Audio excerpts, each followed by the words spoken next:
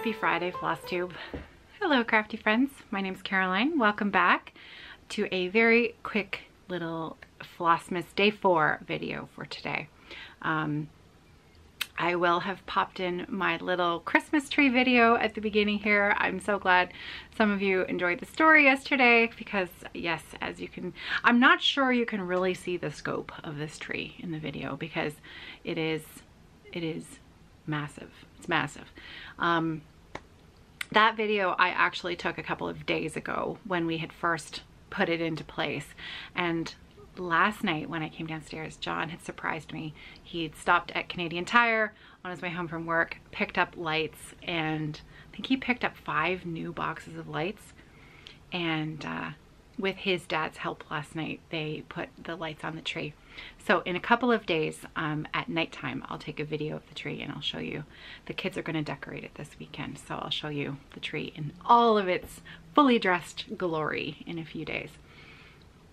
So I'm just quickly here today to pop in um, a video for the Timber Yarns sock set that I am giving away that was very generously donated by Heather at Timber Yarns for my 10,000 subscriber giveaway. Um, I do have something cross stitch related that I would like to give away as well, but I'm going to save that for next week in its own separate little entry video because this is a YouTube giveaway. You will enter this giveaway for the sock set here on YouTube. I'll talk more about that in just a moment because I, I have to tell you this other story because it just happened and I'm still literally grinning from ear to ear because it was quite funny. So, um, you know by now that I have a um, business, project bag business. And so I was sending out a package to uh, Deanna Darling Whimsy and Designs out in Newfoundland. And um, sometimes within Canada, if I'm sending something that is uh, letter size, so not a package size, but it's letter size and it's, it's it you, you have to go by weight and dimension and so on and so forth. But sometimes it's a lot less expensive for me to send it one way versus another. I'd have to get into how I ship things because most of the time I use a third party shipper, which does put things into Canada Post at a better rate most of the time. But shipping in Canada is very expensive. And so this was something that I was sending that I just handwritten, you know, the details on. Which turns out that it was a very good thing that my personal details were written on this envelope because um, when they don't go to the third party carrier, when I FedEx the box, um, either I or my husband or Sarah, who is ever whoever is going out, takes the the lot of stuff to the post office and you know does me a favor. So I got an email about an hour ago, not even half an hour ago, from a man who works at John's store. And the email was forwarded to me and the subject line was trying to locate Caroline so-and-so, my last name. And then there was this email that it was from the campus police services at Western University and they were trying to locate me because I may have lost some property um, on the campus and they were trying to find me, trying to track me down. you can see where I'm going with this. And so at that point, I didn't know what it was. So I'm thinking, what? What the heck? I haven't been on campus in, well, longer than I care to admit because I went to, my, both my husband and I went to Western University and one of my family members who, it wasn't me, who was taking the mail for me that day happened to drop Deanna's package um, and the campus police picked it up and tracked me down. And then the sergeant who who was calling contacting me, he said, you know, I was just going to stick a stamp on it and send it for you, but I, I didn't know whether maybe it had been dropped on purpose that you didn't want to send it anymore. And I thought maybe that would be a bit rude of me just to go ahead and send it. So I decided that I should probably try to find you and see if you wanted it back. And I just, I, I couldn't, I couldn't quite believe it that the amount of effort that he had gone to to track me down because it had gone through several different channels before getting to me. However, Deanna, if you're watching this, all is well. Sarah has headed down there to pick it up today from police services. They've taken it out of property. and it will be shortly making its way to you. So I hope that you enjoy knowing the story behind the little something something that is headed your way. I thought that was quite funny. Ugh, it's it's it's things like that that happen on a daily basis that just make you smile and and you think, you know, life life is just uh, keeps you on your toes. Okay, subscriber giveaway. I have this beautiful, absolutely gorgeous, fully sealed, brand new in the packaging, Timber Yarns sock set. This is the O Canada colorway. And today's the day. Today's the day, this is the video. So if you would like a chance to win this beautiful set of sock yarn, and you don't have to knit socks, you can knit whatever you want with it. You're going to leave me a comment on this video, right here, this video, and I'm just going to be looking for the word yarn. Y-A-R-N, that's it.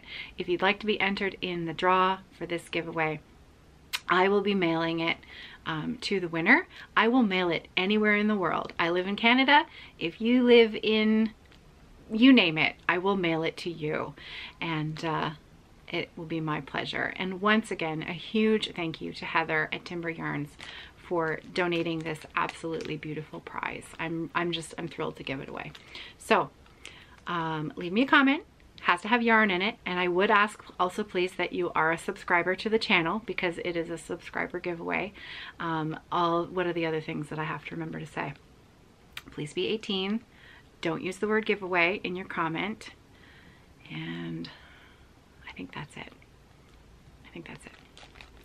Okay so this is going to be the screen capture so that those of you who have been waiting for this to come up as the giveaway, then hopefully you'll you'll see this and you'll know that this is the video that you're going to want to leave your comment on. And that's it. Okay, so I um, I just I recorded a Fiber Friends uh, podcast with my friends Louise and Cheryl this morning, and I managed to figure out Zoom. It worked. I did it. I did it. I was pretty pleased with myself. Now, I didn't have to do any of the inviting or anything. Louise took care of all of that. Um, and she is going to be editing the video. It should appear um, at some point this weekend on YouTube. So that is the Fiber Friends podcast, and it is fiber spelled the Canadian way, which is F-I-B-R-E, the Fiber Friends. And uh, we are now a new trio of um, we have a new member, a new third member, Louise Patterson, myself, Caroline, and our new fiber friend, Cheryl, who is also the bag maker, My Needle Crafts. And you can check out her, her shop at myneedlecrafts.com. She makes beautiful, beautiful bags. And um, I did choose which bag that I wanted. And um, I have let appropriate family members know. So my fingers are crossed that that is going to uh, to happen. So um, I don't think I'm forgetting anything else. I think that's it.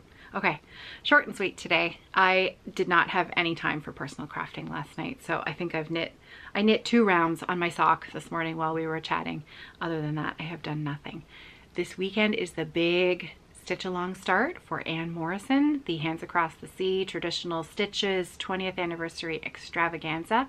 There is a Facebook group that you can join that is being led by the wonderful Rose Hack. And Rose is, I believe she has the chart divided up into 12 sections that she's hoping to you know, encourage us to to um, stitch together and stitch along. There are uh, there are a lot of members in the Facebook group um, Rose, if you see this video, would you mind just leaving the, the name of the Facebook group down below in the comments and I'll try to pin your comment to the top because at the moment um, I, I, I, it's not off the top of my head and I as soon as I hit the stop button on here and get it up, get this video up, I am out the door and running uh, a bunch of errands and all kinds of other good good things to do today. So that is starting tomorrow, the 5th, December 5th. Also, uh, Sylvia had left me a comment yesterday on Patty's Flossmas chart saying that there are no color symbols for the back stitching. I hadn't noticed that yet, so I will, Sylvia, I will try my best this weekend to get in touch with Patty and see if there's a small update. I know that she was really um, in the middle of a bunch of stuff all at the same time as the chart came out um, and that's why it's still in digital form. She actually hadn't had time to complete the copy of the actual stitching for the chart so she's probably going to be noticing those things at the same time. So any update information on the holiday 2020 Flossmas chart which again the information is already going to be in my drop down box below. This is the charity pattern. 50% of proceeds are being directly donated to Muscular Dystrophy Canada. And um, so again, I, I still, I haven't put a single stitch in mine. Um, I, I have, again, I said yesterday, I have my fabric chosen, but I need to choose my floss. I still have to get to that. This is very typical December, isn't it? It doesn't matter what's going on you know, pandemic wise, it's still a regular, it feels like it's a normal December where everything is just go, go, go, go, go. It's, it's, it's kind of fun, isn't it? December has that spe very special feel to it. Anyways, okay, enough. I better go. I may or may not see you tomorrow, even though it's Saturday. So we shall see. I hope if I don't see you tomorrow, I hope that you have a great weekend and that you are safe and well and you have some time tonight to craft and stitch and knit and make all the things and uh, and I hope you're well. So I'll see you soon. Take care. Happy stitching. Don't forget yarn if you if you want the sock set. Bye guys. Take care.